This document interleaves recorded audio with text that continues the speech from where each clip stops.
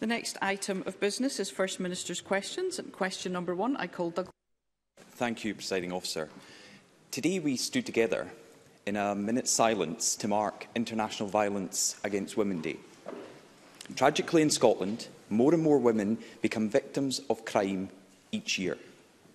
Last year saw the largest year-on-year -year rise in domestic abuse charges, and the number of sexual crimes has more than doubled since 2007. We know that women suffer these horrific crimes far more than men.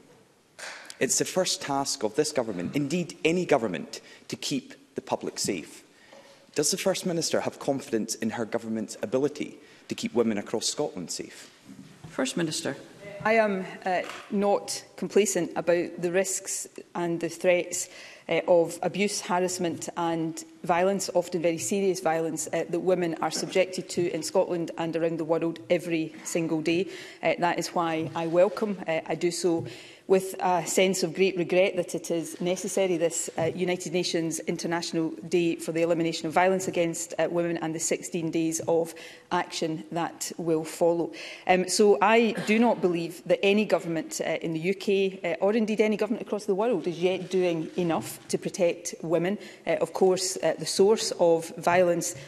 against women uh, is men who commit uh, those acts of violence. Uh, but I do uh, believe uh, this government is taking important action. Uh, for example, and this is relevant to the point Douglas Ross uh, rightly points to about the increase in uh, reports of domestic abuse. That is in part because we have extended the law to cover uh, more examples of behaviour and, and classify that as domestic abuse. And it's to the credit of this Parliament uh, that it did so. Uh, that is an important step forward. It means that uh, behaviour that was previously not criminalised is now criminalised. Uh, we've also increased funding for the organisations that work on behalf of women.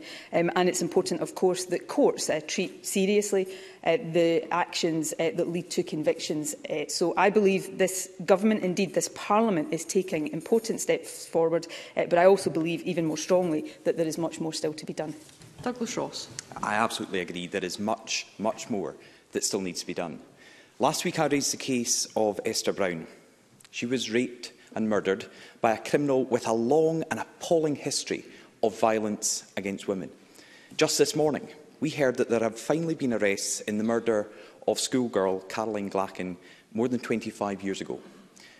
She was found dead on the morning of her mother's 40th birthday.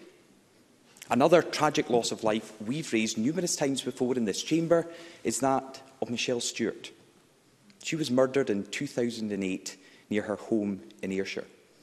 Just a few weeks ago, her sister Lisa wrote to the First Minister's Justice Secretary to ask for an update on Michelle's law. This is a series of reforms to toughen up the justice system that my party supports.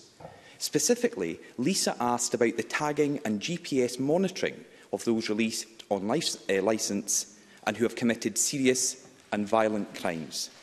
She said the former Justice Secretary, who's speaking to the First Minister right now, committed to having a scheme up and running by November 2021. With one week to go, will that promise to a grieving family be kept? First Minister. Well, first of all, can I uh, say in relation to the arrests that are reported uh, this morning, I obviously, uh, uh in common with uh, all other members, cannot comment on the substance of that, but I think it is an important indication that no matter how many years pass uh, from horrendous crimes that are committed. Uh, those responsible for those crimes, uh, wherever possible, will be brought uh, to justice. And I think that does, uh, on this day in particular, send an important message. Um, in terms of uh, Michelle Stewart, uh, I will ensure that the letter uh, that has been written receives a full uh, response. Uh, we have taken forward a, a number of reforms uh, in response uh, to calls made in the wake of that tragic case and indeed other uh, tragic cases. I will ensure I write to uh, Douglas Ross and place the, the letter in Spice about the, the progress and uh, the timing of the particular uh, change and reform uh, that he is, is asking for. I, I don't uh, want to uh, say uh, definitively that this is the case here, but everybody in this chamber knows that certain uh, commitments, certain strands of work have uh, unavoidably uh, been affected because of uh, what we've been dealing with collectively over the past uh, two years. But these are important uh, measures uh, that we need to continue to take and keep our minds open uh, to taking in order that we do all we can uh, to keep women safe, to ensure that those who commit acts of violence against women are brought to justice and, of course, to deal with uh, much more effectively in future uh, than society has done in the past with the underlying causes of violence against women uh, which is the behaviour of some men in our society.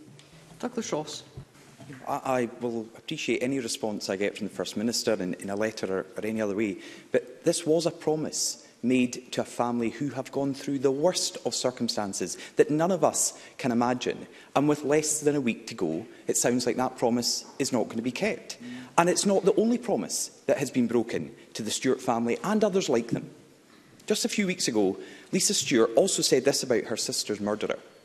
We get no warning that he's out in our local area. What happens if we come across him? Is any thought given to the victims? Again, this is not an isolated example. Victims are routinely left in the dark about where the criminal who ruined their lives ends up and when they're being let out.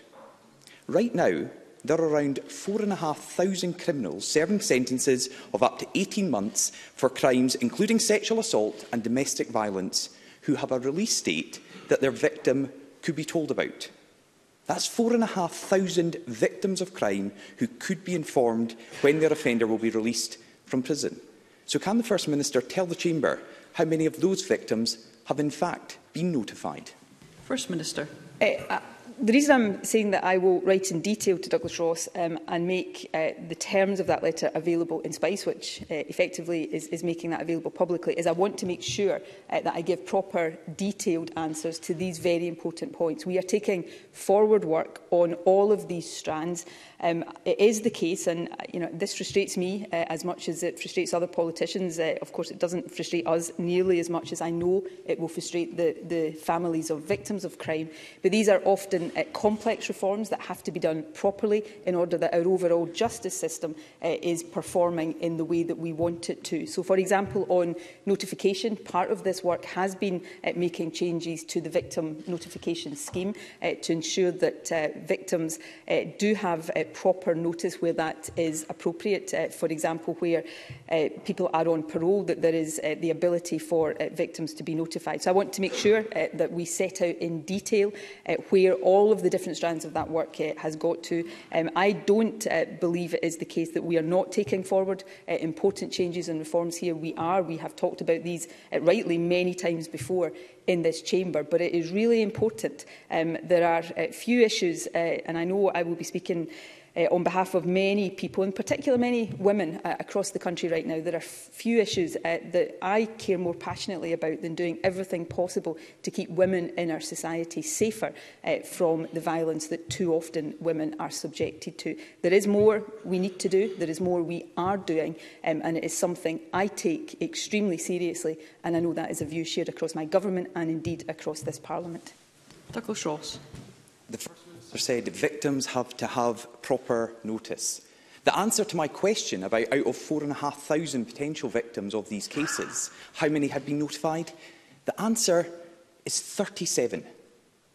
37 of these victims right now are aware of where the offender in their case and when they're going to be released. 37. Less than 1% of these victims know when that criminal who ruined their life is going to get out. How can women who suffer the most horrific crimes and their families feel safe when they're kept in the dark about the release of dangerous offenders? They have no idea if they'll be walking down the street in their own community and come face to face with their attacker. The justice system is stacked against victims.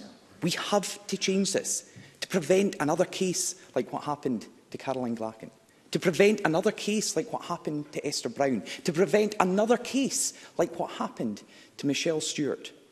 When will the First Minister's government finally take the action desperately needed to keep women safe from these crimes? First Minister. These are important issues. I, I don't believe it is the case that the justice system is stacked against victims, um, and, and I don't think that is a fair representation. But I do believe it is the case that the justice system, like all parts of our society, has to uh, change to respond better uh, to the needs of women who are subject to uh, violence. And I uh, readily accept that responsibility. Uh, it is the case that the government is taking forward a range of changes and reforms uh, because some of what Douglas Ross has cited is not good enough. Victim notification is one of those areas. Uh, it is important to say, and I, I don't say this uh, in, in mean to suggest that it is in the, any way the majority. Uh, there will be some victims of crime who do not want uh, that information for reasons uh, that are important to them. So it's really important that in all of these things, uh, the needs and the wants of victims are to the fore, uh, that the justice system is responsive, uh, that it is not defensive, that we are always looking at how we reform and change the justice system in order uh, to address these very legitimate concerns.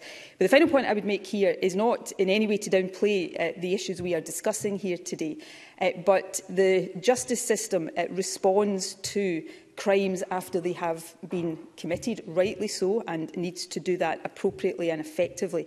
But we also all have a duty to do much more, and this doesn't just apply to Scotland, this applies globally, much more to stop the violence happening to women in the first place. Um, and that uh, does mean changing profoundly uh, the culture uh, that exists in many countries around this. So this is, I'm glad this issue has been raised today, given uh, what today represents. I accept my responsibility in Scotland to make sure all of these issues are addressed and that we take forward these changes and reforms, because all of us have a duty to do everything that we can to keep women as safe as possible from violence. Question number two, Anna Sarwar. Presiding Officer, last week I raised the case of Andrew Lawrence, who died in the Queen Elizabeth University Hospital in Glasgow after contracting a fungal infection aspergillus linked to water and the environment. Since raising this in the chamber last week, I've been contacted by a senior clinician at the hospital who has revealed there was another case of aspergillus in a child cancer patient around the same time and in the same ward as Andrew. That child tragically died. When a hospital reports a serious infection like aspergillus, a red report should be filed and the Health Secretary informed. Did this happen? Were you aware of this death? And what action was taken? First Minister. I will uh, look into the specific issue that has been raised and I will uh, come back to Anna Sarwar. These are, uh, again, important uh, issues. Uh, I don't have the details of the case he is raising, uh, but I will certainly, as a priority, look into this. Uh, After uh, last week's exchanges um, and uh, after the concerns, very serious uh, concerns that were raised uh, by Louise Lawrence uh, Andrews' uh, wife, the government has uh, taken uh, further action. Obviously, these concerns require to be fully and properly investigated. I've written uh, to Louise Lawrence uh, already today confirming initial actions that are being taken in light of those concerns. Uh, that includes an independent external uh, review of Andrews' case notes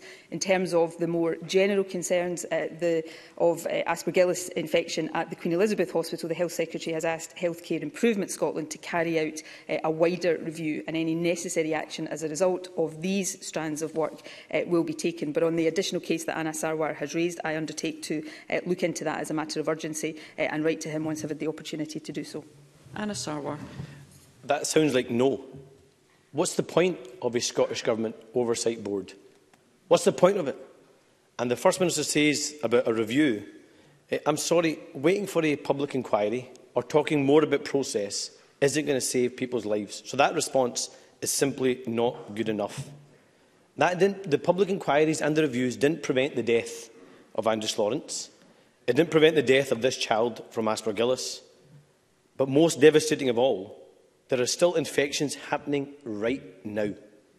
A second clinician in fear of speaking out because of bullying and intimidation, has told me that in the last two months, the last two months, there has been another child who acquired a waterborne infection, like Millie Main, and died. Another case in the last two months, and another child dead. The holding answers are no longer good enough. This is gross negligence. The First Minister needs to act now, stop infections and save lives. First Minister. It is really important that, uh, and let me say this uh, very clearly and very bluntly, no clinician uh, should fear uh, bullying or intimidation in coming forward. Um, and, well, Anna Sauer says they have been, so it is incumbent on me as First Minister to stand here and very clearly uh, say that that will not uh, be tolerated in our National Health Service. When concerns are raised, it is important that there is proper and full investigation to determine uh, whether there are uh, relationships between uh, infections, uh, which a lot of work, considerable amount of work, uh, is underway on a daily basis in the National Health Service to reduce the incidence of um, and uh, people becoming seriously ill and, and dying. It's important that proper investigation is underway, which is why uh, what I have said today is important so that we establish the facts, because that then informs as the actions that require to be taken. And that is vital. Uh, what is also vital is to recognise uh, that the government does that. It is absolutely correct uh, that processes are established to ensure proper wider investigation and scrutiny. That is why the independent review uh, and the case note review that was undertaken previously and now the independent statutory public inquiry is important, but it is simply not the case to say that nothing else is being done uh, while we await the findings of those. Uh, Greater Glasgow and Clyde Health Board is right now at the highest level of escalation in terms of the Health Board uh, performance framework at stage four, which Eh, is often referred to as special measures. Eh, that means there is a significant amount of work underway eh, to address infection in hospitals and to reduce the incidence of infection. So these are important matters, but when these concerns are raised, it is really important and it is not it is not uh, trying to deny responsibility to say that real serious investigation to establish the facts is important and I hope Anna Sarwar will accept that. Anna Sarwar. That answer is simply unacceptable and complacent. Millie Main died in 2017 and there was a similar infection in a child two months ago that lost their lives. Hiding behind process isn't going to bring people back to life or stop infections right now. So can I remind the First Minister that she's been in charge of the scandal from start to finish. This has happened and continues to happen on your watch. Right now, the health board are attempting to deflect blame onto the clinical staff. This is a failure of leadership. The health board has failed, the Scottish Government Oversight Board has failed, and frankly, the First Minister continues to fail. Staff are being bullied and intimidated now. I've been raising this in this chamber for years, and I've heard the same answers and the same excuses. Infections are happening now. Patients are dying now. Last week, the cause of Andrew Lawrence's death was revealed. This week, the death of two children. Another week of dithering and inaction simply won't cut it. Sack the leadership of the health board today, sack the oversight board today, and use your emergency powers to take control of this hospital. First Minister, how many more families will have to be devastated before you do the right thing? First Minister. Sacking a health board uh, does not change uh, overnight the practice in a hospital.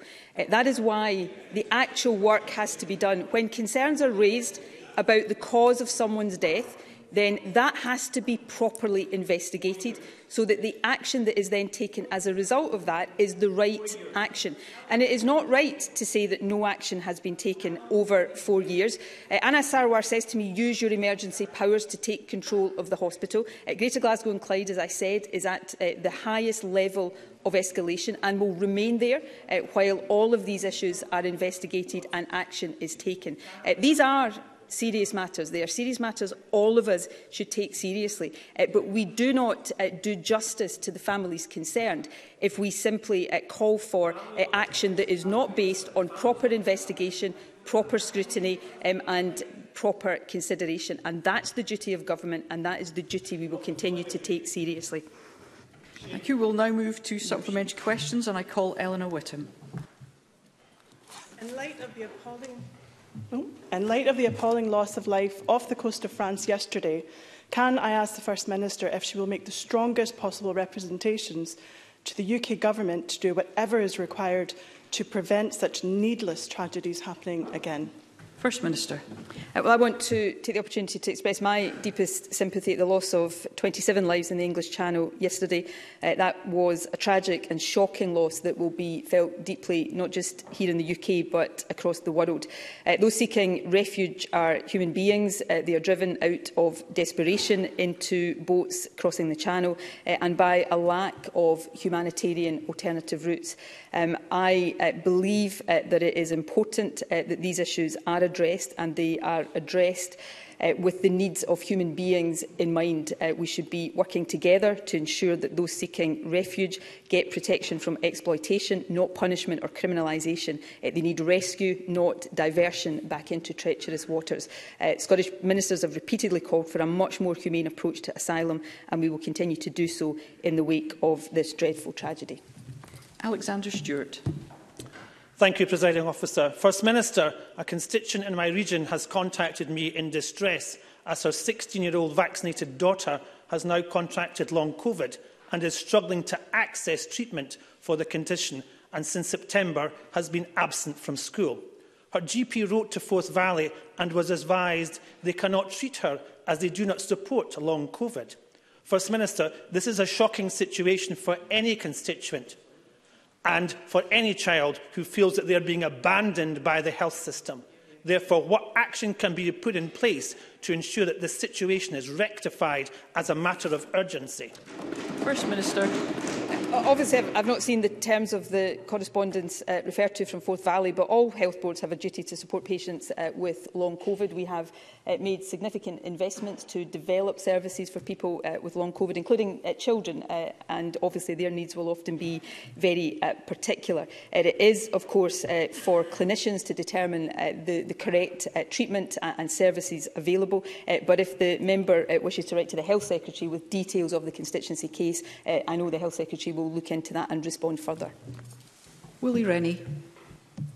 Yeah, the examination of deaths in care homes uh, with residents admitted without uh, being tested deserves to be illuminated with good statistics and timely statistics without manipulation um, from government ministers. But we know two ministers interfered on the publication to delay it on another report. So does the minister, First Minister not understand that suspicion about the interference with Public Health Scotland is swirling around. And the best way to deal with that suspicion is to publish the report into care home deaths now. First Minister. Um, I, I don't, I absolutely do not accept uh, that characterisation and um, I think that does a great disservice uh, not to Scottish Ministers but to those who are working hard and have worked so incredibly hard over these past uh, months uh, in Public Health Scotland. Um, Public Health Scotland has made it absolutely clear that no data was withheld. Data on deaths in care homes uh, were incorporated into the discharges from NHS Scotland hospitals to care homes report that was published on the 21st of April. And of course, uh, deaths in care homes, uh, in common with all aspects of the handling of the pandemic, uh, will be the subject of the independent inquiry uh, and we'll shortly announce further details of that. Jackie Bailey. As we've heard, the report on care home deaths due to COVID was not published prior to the election. The First Minister is aware that there was no barrier to them doing so as their own guidance states that they can publish information even in an election period. So it seems the report was suppressed for political reasons.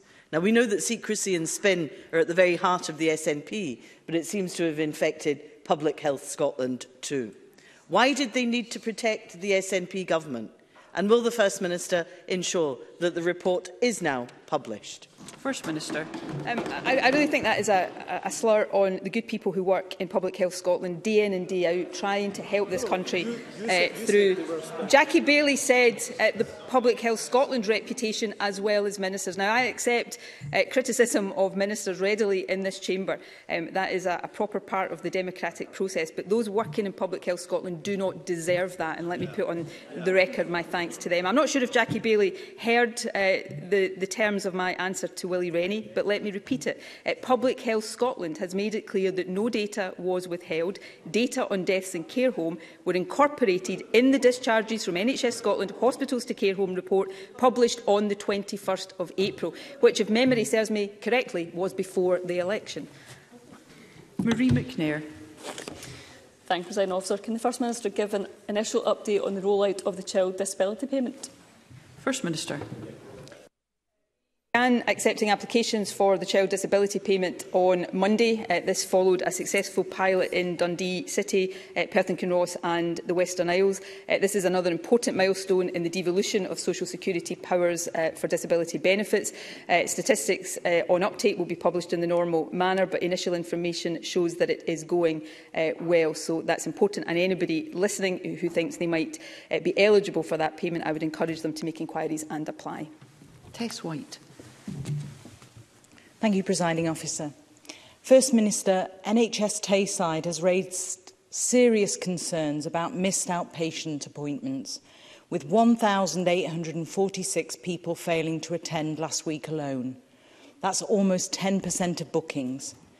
Given the implications for cost, delayed treatment and waiting times, what action is the Scottish Government taking to encourage people to attend their NHS appointments? First Minister obviously, we encourage uh, people to attend appointments that they are given. We know, uh, largely because of the COVID experience, uh, there are significant waiting times uh, for both outpatient and inpatient elective uh, care. Uh, therefore, it is really important that people do get appointments, that they attend those appointments. If they can't attend those appointments, of course, they should contact their health board to rearrange uh, so that that slot uh, can be allocated to someone else. So we will always uh, take steps uh, to encourage uh, that but more fundamentally, uh, we're taking steps backed by significant investment to increase the overall capacity of the NHS to ensure that more appointments are available uh, and we start uh, to tackle the backlog in waiting times that has developed over the past two years. Question number three, Maggie Chapman. To ask the First Minister what the Scottish Government's response is to Rape Crisis Scotland's Survivor Reference Group Police Responses in Scotland report. First Minister. We welcome the publication of the report by the Survivor Reference Group and commend the courage of those who have come forward to share their experience. Uh, we will consider the findings uh, from uh, this report, although some of the recommendations are an operational matter for Police Scotland. Uh, we are determined to ensure that the justice system does respond better to the needs of survivors in Scotland and will continue to prioritise support for victims of sexual crime as well as work to identify ways to prevent offending in the first place. Uh, we recognise the key role that advocacy services such as Rape Crisis Scotland uh, play and uh, in helping victims come forward and engage with the justice process, which is why we fully fund its national advocacy advocacy project. Maggie Chapman. Can I thank the First Minister for that response and acknowledge how seriously I know she takes this issue. Today is the International Day for the Elimination of Violence Against Women and we will be debating that, this issue later on today. Sexism and misogyny remain entrenched in our society and the rise in reports of domestic abuse and sexual crimes should ring alarm bells for us all. The Rape Crisis Survi uh, uh, Scotland Survivor Reference Group report reveals concerns about how these reports are dealt with by police. It makes it clear how important understanding and awareness of trauma is both for justice and for recovery. It also makes clear that survivors of colour or those from different cultural backgrounds are least able to access justice. In the First Minister's view, what can we all do to ensure our criminal justice system does not prevent minoritised and marginalised women in particular from being given fair and equal access to pursue justice? First Minister. Well, firstly, we have to recognise uh, what Maggie Chapman has outlined there. Uh, women uh, all women uh, suffer in some way, shape or form at some point in their life uh, sexism and misogyny. Uh, unfortunately, too many women uh, suffer very serious uh, violence and abuse and harassment. Uh, but within that, uh, women of colour um, and uh, other uh, minority groups uh, will suffer uh, disproportionately, uh, but also in some cases find access to justice even more difficult. That is something all aspects of the justice system has to take very seriously. I know that Police Scotland does take that seriously and will take very seriously uh, the recommendations for it in this uh, report. This is something that at all levels all of us must do uh, more to address in order that uh, the next generations of girls growing up in Scotland and around the world do not uh, suffer the same uh, as those who have gone before them. Brian Whittle. Thank you, Presenting Officer. I have previously raised the often torturous journey of women who are navigating their way through the judicial system and who have been brave enough to come forward and report when they've been victims of sexual crime. That includes the continual re-traumatisation and secondary abuse that the continual retelling of their story to agencies involved heaps upon them. Does the First Minister agree it is imperative that victims have full confidence in the reporting process and that the judicial system will treat them with dignity and compassion?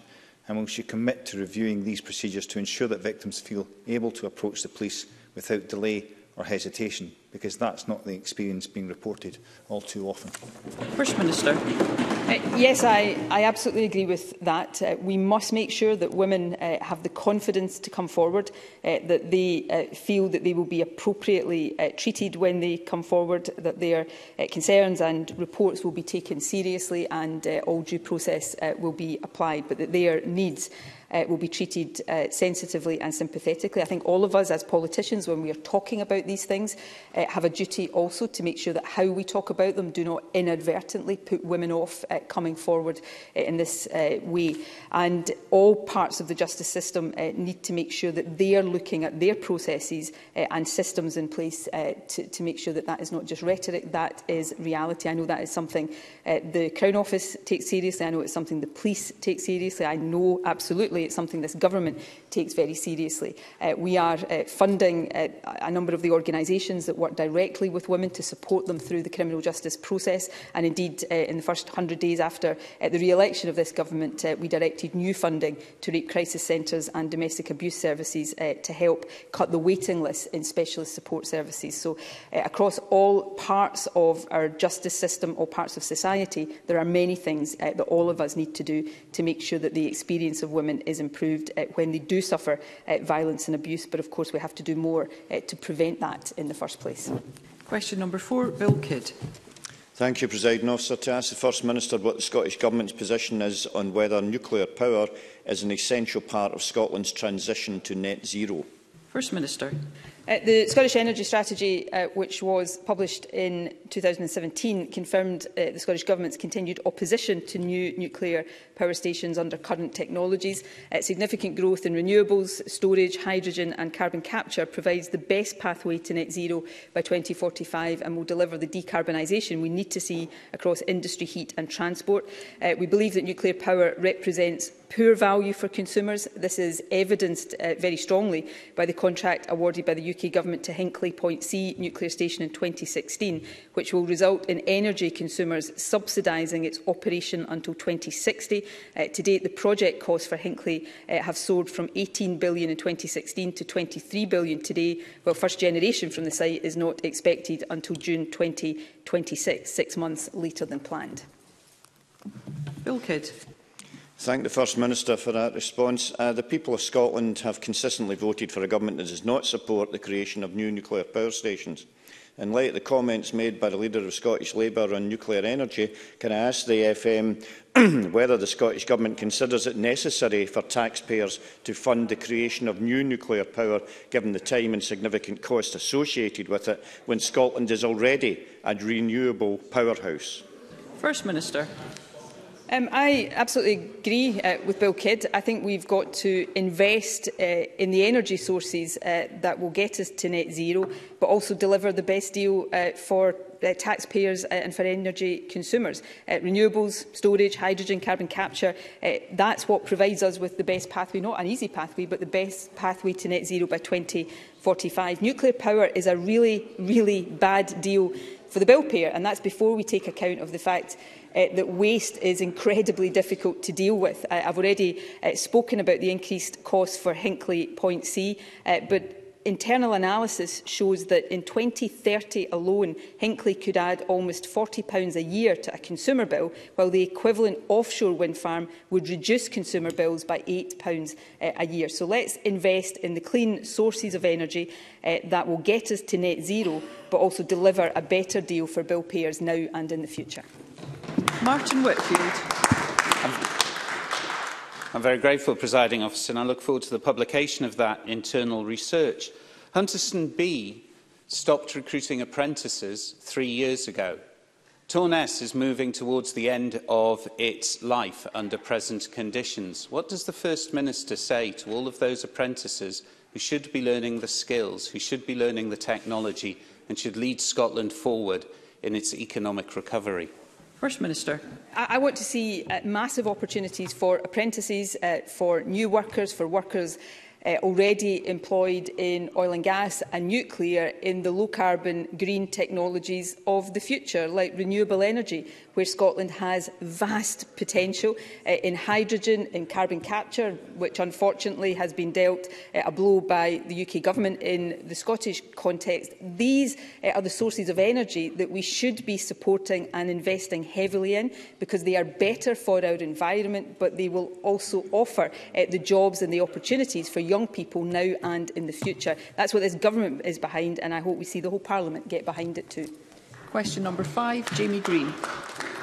Thank you, Presiding Officer. To ask the First Minister what discussions have taken place between the Scottish Government and the postal and banking sectors regarding the continued access to everyday services, particularly for rural, digitally excluded and vulnerable customers. First Minister. Access to banking and postal services is vitally important, particularly for rural communities and vulnerable or digitally excluded consumers. Uh, any reduction in branch numbers raises concerns regarding the ability to access these services. Of course, the regulation of financial and postal services is reserved to the UK Government. Uh, Scottish ministers are therefore restricted in the intervention we can take. However, we do engage with the financial services sector regularly, and I will re-emphasise the importance of this when I shortly convene the Financial Services Advisory Advisory Board.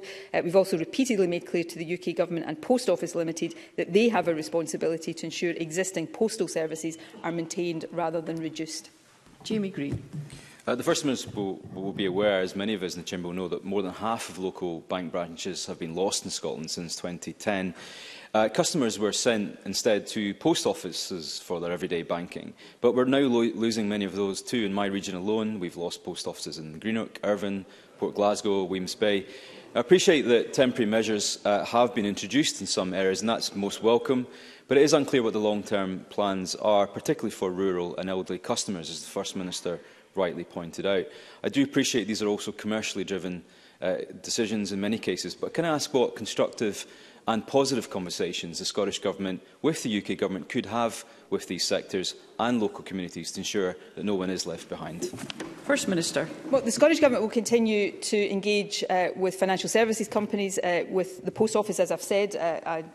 uh, reiterated today uh, that we will raise this at the next meeting of the Financial Services Advisory Board. I've had discussions personally, my ministers have had discussions uh, about how these services can best be delivered, particularly in rural areas, to make sure people have equitable access.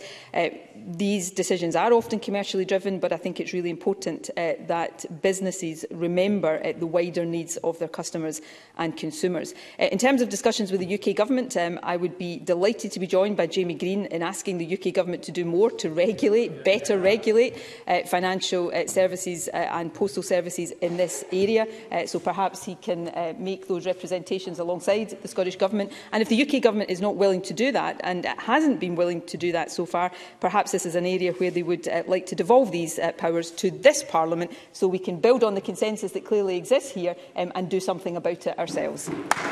Paul Kane. Uh, thank you, thank you, presiding officer. More must be done uh, to support post office provision, not only in rural communities but also in town centres. In the town of Port Glasgow, in my region, there is no post office, which is remarkable in a town of almost 15,000 people. Often, when post offices close, community groups and local development trusts wish to take the services on, but can't get off the ground due to funding issues or resourcing issues. So, will the First Minister look at how we might better fund community capacity to be able to offer these services and retain them in communities? First Minister. Uh, yes, we will always look at that. Uh, we already do uh, look at how we can support communities to take assets uh, into community ownership, but not just in uh, this area, uh, but more generally. So I think that is a constructive way that this government can uh, help to use its powers and resources. But as is so often the case, uh, what we end up being called upon to do uh, as, as government is put a sticking plaster uh, on the actions or inactions of the UK government. So again, perhaps uh, the member from the other side of the chamber will join those of us on the government uh, side of the chamber here to say why wouldn't we wouldn't it be better to take these powers and responsibilities into the hands of this parliament so we can tackle some of the root causes of this and not just constantly have to be a sticking plaster for the actions or inactions of a Tory government at Westminster. Question number six, Monica Lennon. Uh, thank you, Presiding Officer. To ask the First Minister what the Scottish Government's response is to a SEPA investigation in covering the single largest illegal export of household waste from Scotland, resulting in Saikana Tour UK Limited being fined £20,000. First Minister. Well, this kind of behaviour is totally unacceptable. Uh, the company's actions were illegal and they were also environmentally damaging. They also undermine uh, Scotland's wider recycling efforts. So the prosecution sends a very clear signal to uh, everyone that waste must be managed responsibly and sustainably um, as in this case SEPA routinely carry out proactive inspections at Scottish ports and loading sites to ensure compliance with the very strict waste shipment regulations. SEPA will continue to prioritise the regulation of waste, waste exports from Scotland to ensure that the environment is protected. It is of course for the courts to decide what level of fine is appropriate in any case. Monica Lennon. I thank the First Minister for her response and I pay tribute to the SEPA officers involved in detecting this serious and, frankly, disgusting environmental crime. What was supposed to be bales of waste paper included used nappies and period products dog excrement and plastic packaging. Dozens of these containers were intercepted in Antwerp and in transit to China. I appreciate the fine is a matter for the courts, but does the First Minister agree that £20,000 is is a paltry fine for this filthy crime and that we do need more robust punishment in order to deter these sorts of crimes. What action will the Scottish Government take to ensure that our regulatory and legal framework our fit for purpose and that we can show leadership in terms of environmental justice and fulfil our moral and legal obligations not to export our pollution to other countries. First Minister. Well, I think it is important uh, to say, and, and I think Monica Lennon did recognise this, that this case is actually a sign that our regulatory framework is working, um, and it is a credit to SEPA uh, that uh, this illegal export of waste uh, was intercepted, identified, and a prosecution uh, and a punishment fine uh, happened. In terms of the fine, it is for a court, for the sheriff in this case, to decide the appropriate level of fine, and I know the sheriff in this case uh, highlighted uh, some of the reasons reasons uh, why the fine was set at that level. There is a, a sentencing, uh, possible sentencing range, uh, so the fines could have been uh, much higher than that, but it is for the Sheriff to take account of the circumstances and decide what is appropriate. And uh, while we all want to see cases like this uh, appropriately dealt with, it would be really wrong for me to second-guess the sentencing decisions of any Sheriff or judge in the country. Morris Golden. Thank you, Presiding Officer. Given that 98% of plastic waste is not recycled here. Will the First Minister back Scottish Conservative calls to reduce waste exports and create jobs by building a new recycling plant for plastics here in Scotland? First Minister. Well, we want to uh, take a range of actions uh, to make sure that we reduce waste and increase recycling. In fact, just last week, the Minister for the Circular Economy announced the first of the investments from the £70 million Recycling Improvement uh, Fund uh, to increase the quantity and quality of recycling, um, and that marks the beginning of one of the biggest investments in recycling in Scotland. So we'll continue uh, to consider suggestions from wherever they come so that we are fully playing our part to reducing uh, and appropriately dealing with waste here in Scotland, uh, which is an important part of fulfilling our environmental imperative. Julian Mackay. Presiding officer, I think that was a request an earlier question. Thank you, Ms Mackay. Call Fulton McGregor. Um, thank you, Presiding Officer. Um, the First Minister will be aware that 11 residents at Millbrae Care Home in my constituency were mistakenly given a saline solution instead of the COVID-19 vaccine in December last year. I understand the situation was quickly rectified by NHS Lanarkshire and no harm was caused to residents. However, can the First Minister offer reassurance that this incident was an isolated case and that all affected residents and their families were offered the appropriate support at the time? First Minister. Uh, yes, I am able to offer that assurance. I, know that the Health Board has apologised for any distress that was caused uh, by the incident at Milbury Care Home. Uh, I can confirm that the Health Board at the time gave a, an assurance to us that no harm was caused. all residents affected were notified along with their families and received the appropriate vaccine the same day with no adverse effects. Vaccinators within the Health Board area were made aware of the error with incident reporting being strengthened in the land manager's system and measures were put in place immediately by health boards to prevent any similar incidents in future.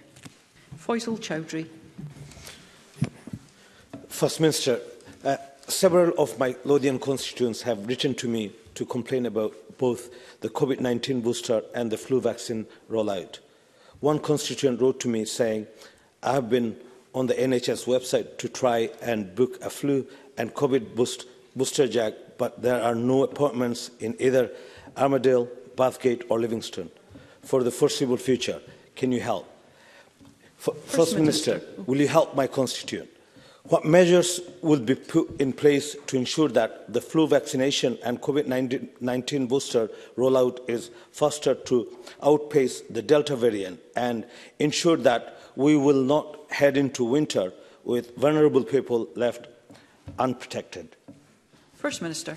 Well, my, my thanks to Fazil Chowdhury for that question. It is really important uh, that we, as I said in my statement earlier this week, that we continue to accelerate the pace of the vaccination programme.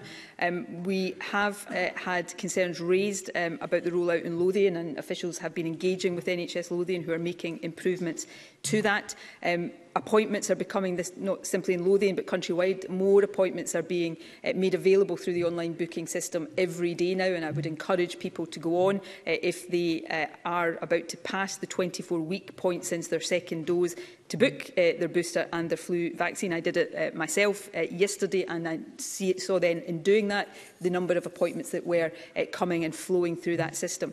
Uh, it is the case that the vaccination programme is going well. We are the most vaccinated part of the UK. I think we are uh, running as fast as Delta in that respect right now, but we cannot be complacent. We need to get as many people vaccinated with first, second, third and booster doses and flu vaccine um, as fast as possible, and that is what we are giving absolute focus to every day. Thank you. That concludes First Minister's questions. Point of order, Jackie Bailey. Thank you very much, Presiding Officer. The First Minister said that Greater Glasgow and Clyde was at the highest level of escalation. That is simply incorrect. And I am genuinely surprised that she got it wrong, given that she is a former health secretary. Greater Glasgow and Clyde is at stage four of the escalation framework. The highest level is stage five and involves the Cabinet Secretary for Health using ministerial powers of intervention under the National Health Service Scotland Act of 1978. The last time this was used was in 2018 to remove the Chief Executive of NHS Tayside. So the First Minister is wrong. Will she correct the record? And will she now act before families are devastated by the loss of loved ones? I thank Ms Bailey for her point of order. The member will be aware that the content of members' contributions is not normally a matter for the chair. Um, however, a mechanism does exist um, for members to correct any inaccuracies that have been made. Thank you.